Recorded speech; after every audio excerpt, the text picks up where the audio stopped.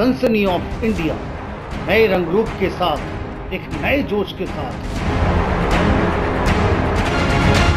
देखें नए अंदाज में 2016 के साल में जनवरी 2016 में सनसनी ऑफ़ इंडिया देगा एक नई दस्तक।